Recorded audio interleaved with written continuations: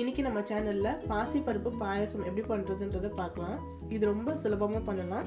இதுக்கு தேவையான பொருட்கள் பாசிப்பருப்பு வெல்லம் ஜவ்வரிசி தேங்காய். நான் இன்னைக்கு ஸ்ட்ரெட்டர் தேங்காய் எடுத்திருக்கேன். இதுக்கு நீங்கள் பீஸஸாக கட் பண்ணி கூட தேங்காய் எடுத்துக்கலாம். முந்திரி திராட்சை ஏலக்காய் பவுடர் கீ. வாங்க இது எப்படி பண்ணுறான்றதை பார்க்கலாம். இப்போ இதுக்கு நான் ஃபஸ்ட்டு பாசிப்பருப்பை நான் லைட்டாக ட்ரை ரோஸ்ட் பண்ணிக்கலாம். அப்போ தான் பாயாசம் ரொம்ப நல்லா டேஸ்ட்டாக இருக்கும். பாசிப்பருப்பு வறுத்தாச்சு. ரொம்ப வறுக்கணும்னு அவசியம் இல்லை. லைட்டாக வறுத்தா போதும். இதை நான் தண்ணி ஊற்றிட்டு வாஷ் பண்ணி எடுத்துக்கலாம். இப்போ இந்த ஜவ்வரிசியும் நம்ம லைட்டாக ட்ரை ரோஸ்ட் பண்ணிக்கலாம். அப்போ தான் இது சீக்கிரமாக வேகும். இப்போ இந்த பாசிப்பருப்பை கொஞ்சமாக தண்ணி சேர்த்து இந்த குக்கரில் வச்சு ஒரு விசில் வரைக்கும் வேக வச்சிடலாம். இப்போ இந்த ஜவ்வரிசியும் தனியாக நம்ம வேக வச்சிடலாம். தண்ணி சேர்த்து கொஞ்சம் வேக வச்சிடலாம். பருப்பெல்லாம் வேகங்காட்டியும் நம்ம வெள்ளத்தையும் பால் காய்ச்சி எடுத்துக்கலாம்.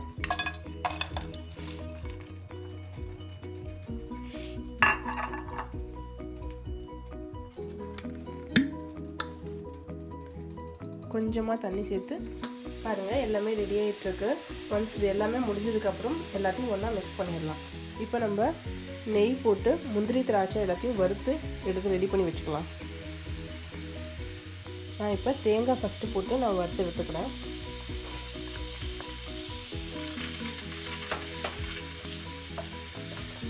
இது லைட் ப்ரௌன் கலர் வர வரைக்கும் இது நம்ம வறுத்துக்கலாம். தேங்காய் வறுத்தாச்சு. இதை நம்ம இந்த பவுல்லே வச்சுக்கலாம். எடுத்து இப்போ இதே கீழே நம்ம எடுத்து வச்சுருக்க முந்திரியும் திராட்சையும் நம்ம வறுத்துக்கலாம்.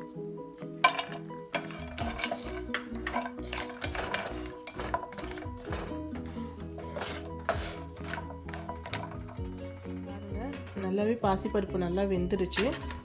இப்போ எல்லாத்தையும் சேர்த்து மிக்ஸ் பண்ணிடலாம். ஜவ்வரிசியை நான் இதில் சேர்த்துக்கிறேன்.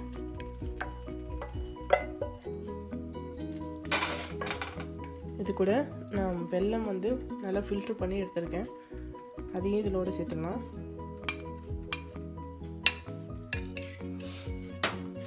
இது நல்லா ஒரு மிக்ஸ் பண்ணிக்கலாம்.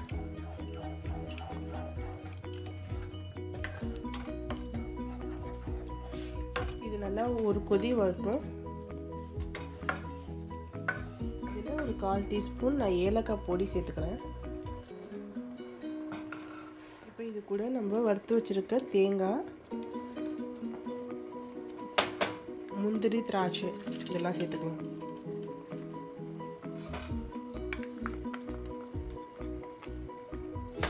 எல்லாத்தையும் ஒரு மிக்ஸ் பண்ணி விட்டுலாம்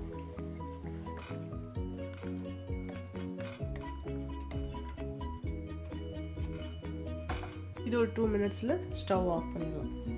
நம்மளோட பாயசம் ரெடி ஆகிடுச்சு நீங்களும் இந்த பாயசத்தை உங்கள் வீட்டில் ட்ரை பண்ணி பாருங்கள் உங்களுக்கு இந்த வீடியோ பிடிச்சிருந்துச்சுன்னா என்னோடய சேனலில் சப்ஸ்கிரைப் பண்ணுங்கள் லைக் பண்ணுங்கள் மறக்காமல் பக்கத்தில் இருக்க நோட்டிஃபிகேஷன் பெல்லை கிளிக் பண்ணுங்கள் பாய்